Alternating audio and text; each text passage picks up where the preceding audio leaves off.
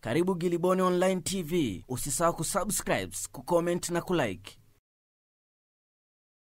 Kujiuzulu kwa mbunge wa Lazaro Nyalandu kutoka Chama cha Mapinduzi CCM kumeibua bahari na mawimbi makubwa yanayopiga fukwe na walioathirika wanapiga kelele. Uliibuka mjadala mkubwa kwenye mitandao ya kijamii kuwa kulikuwa na kitu nyuma ya pazia kutokana na utata wa taarifa kuhusu kujiuzulu kwake.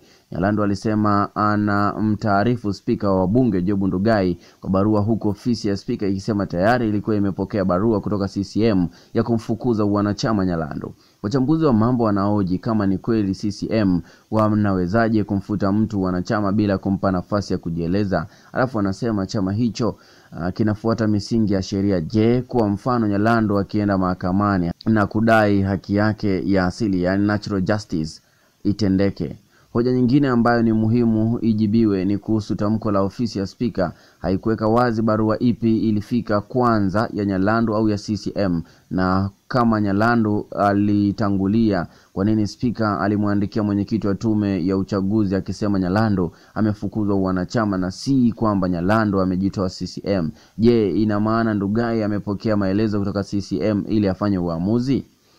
Katika hali hiyo hiyo, ina maana Nyalando alijua kulikuwa na kikao cha siri ambacho kilikuwa kinamjadili na akatonywa uamuzi uliofikiwa ili kuwanyima CCM hadhi, credibility, akatangaza kujiuzulu kabla ya CCM kuandika barua. Swali jingine ni je, CCM walimpa barua ya kumfukuza Nyalandu? Haya ni maswali madogo, lakini yanawaumbua CCM kwamba si kweli wanatenda mambo kwa hila na wanakandamiza uhuru wa wanachama wake. Barua ya CCM kwenda kwa spika haifafanui ni mambo gani ambayo Nyalandu alifanya ambayo adhabu yake ni kumfukuza wanachama. Haitoshi kusema kwamba chama kimechukua hatua za kinidhamu dhidi ya mbunge wake na kuandaa wanachama wengine midomo wazi. Ni mambo gani ambayo Nyalando alifanya kinyume na mwenendo na maadili ya chama chake? Wachambuzi wa mambo wanasema Nyalando aliwahi kutamka kwamba anakusudia kupeleka muswada bungeni kuomba bunge la katiba alirejeshwe na kujadili mapendekezo ya tume ya Warioba. Je,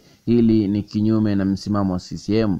Kama ndivyo, wananchi waelewe kuanzia sasa CCM wanapinga matakwa yao kudai katiba mpya. Halafu barua yao kwa spika inasema Nyalandu amekuwa akienda kinyume cha uh, filosofia na itikadi ya chama. Filosofia na itikadi ya CCM ni ipi? Maana mambo muhimu yanayotamkwa ni kusema ukweli, kutokula rushwa na kutofitini watu. Ni lipi kati ya haya ayafanye Nyalandu? Nyalandu mwenyewe amesema ameamua kujiondoa CCM kwa sababu bunge ambalo lina wanachama wengi wa chama hicho limeshindwa kuisimamia serikali. Anapinga vitendo vya ukandamizaji wa haki za binadamu na kutoheshimu mipaka ya madaraka ya bunge na mahakama. Je, chama cha mapinduzi kinayakumbatia haya? Hizi ndizo hoja ambazo CCM wanatakiwa kuzijibu, lakini wachambuzi wa mambo wanasema kuwa Nyalandu ni fisadi na yuko chini ya uchunguzi. Katika pita pita za hapa na pale kwenye mtandao wa kijamii, mtu mmoja aliandika hivi kwenye huo mtandao: kati ya makosa ambayo hutakiwi kufanya ni kumtukana mtalaki wako. Hayo ni baadhi tu ya maoni ya mchambuzi. Kama umependa, hakikisha kwamba unatuachia komenti yako, una like na kusubscribe Giliboni Online TV.